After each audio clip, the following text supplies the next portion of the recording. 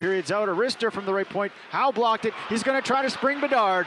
Trying to catch him as Poole. Bedard's in alone. He shoots. He scores. Connor Bedard is on the board.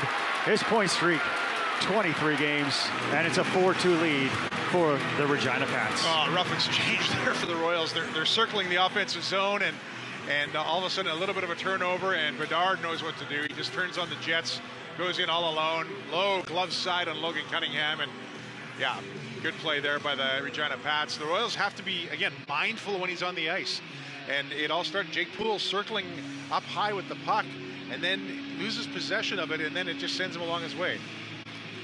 Well, 7,006.